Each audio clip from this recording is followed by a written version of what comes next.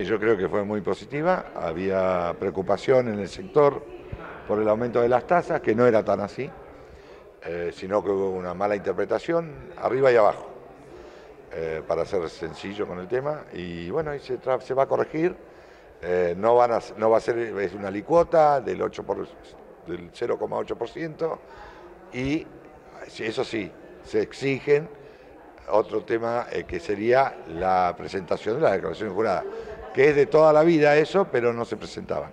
Entonces, lo que, el mínimo ese se obliga a pagar si vos no presentás la declaración jurada. Pasa por ahí nada más el tema.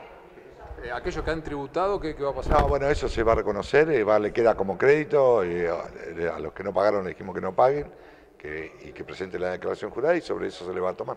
Y a partir, digamos, que se regularice todo este tema, que la presentación juradas, ahí se empezaría a cobrar, digamos... Que presentar la de noviembre y diciembre ahora, para este bimestre. Siempre tenés que presentar la anterior y declarar en esta. Entonces vas eh, más o menos tributando como a la par de lo que fuiste declarando.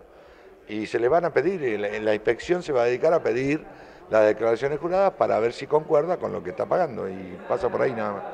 Para que no haya esa escondidita de que no declaré o pero lo que pasaba antes era que no declaraban, no había declaración jurada. Entonces el mínimo hubo que subirlo para poder recaudar.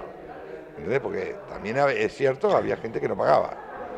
¿Cómo fue el clima de, charla, de debate? No, fue muy distendido. Lamentablemente no pudimos meter, porque había un montón de gente con, con el tema de la preocupación que quedó afuera, que habíamos arreglado con Canalic, que era el que lo representaba. Eh, le digo, mira, venga, entran tres, más la asociación que ya son como 15, le digo, ya estamos, porque si no es como que no se puede hablar, no se puede explicar, cada uno empieza a presentar su problemática individual y se desvirtúa la reunión. Yo lo que quería era que de acá salga la solución.